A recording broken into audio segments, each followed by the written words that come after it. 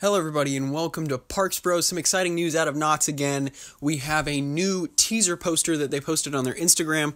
It's pretty interesting stuff, actually, and it kind of alludes to the fact that there will be more than one animatronic on this ride, so I'm very excited for that, of course. But uh, I'll read it out to you right now. It says To all adventurers, if you are seeking gold timber farms, hurry to the marvelous Calico River territory, a rare opportunity.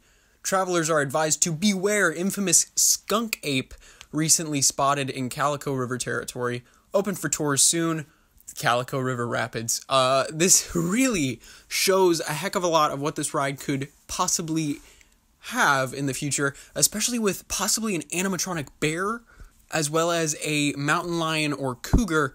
Uh, and then you can also see in the top left corner something we've seen before with the TNT, and then in the bottom right, also something we've seen before with the shack. Now I wonder if there will be a water tower, but also the Bigfoot or Sasquatch is actually being called a skunk ape.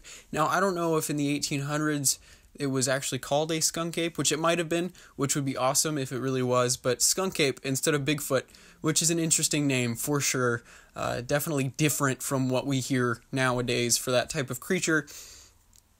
But here you go. Another teaser is in the books. We know what's coming, but I'm very excited if they actually have both of these animals as animatronics as well as the Bigfoot in the cave. So makes everything a little more exciting, I would say, for sure. And actually I found out that Garner Holt Productions, the same people that do a lot of Disney's animatronics, as well as the new Timber Mountain log ride animatronics are doing the animatronics for Calico River Rapids, so they should be amazing quality. So I'm very excited about that.